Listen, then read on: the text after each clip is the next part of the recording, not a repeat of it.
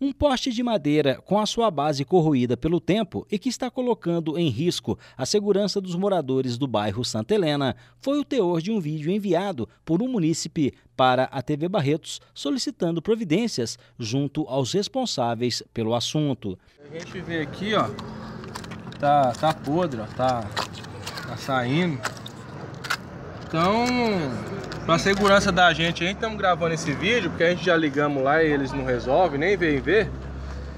Para ver se a gente consegue aí que, que os pessoal da CPFL vem aqui para dar uma olhada, porque a gente tem criança, tem muita gente que passa na rua, carro.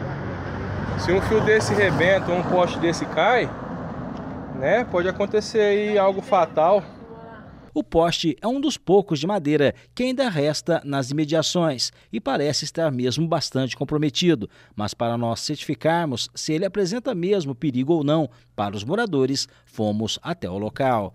E após recebermos o vídeo do morador aqui da Avenida Guaíra, entre as avenidas Paraíba e Piauí, nós viemos conferir o poste em que ele fez a denúncia. E olha, ele tem razão. Afinal de contas, a estrutura do poste está bastante danificada. O poste está comprometido. Ele fica situado aqui na Avenida Guaíra, em frente ao número 1455. E os moradores das imediações andam bastante preocupados com o que possa ocorrer caso uma chuva venha danificar ainda mais esse poste e mais do que isso, até a derrubá-lo.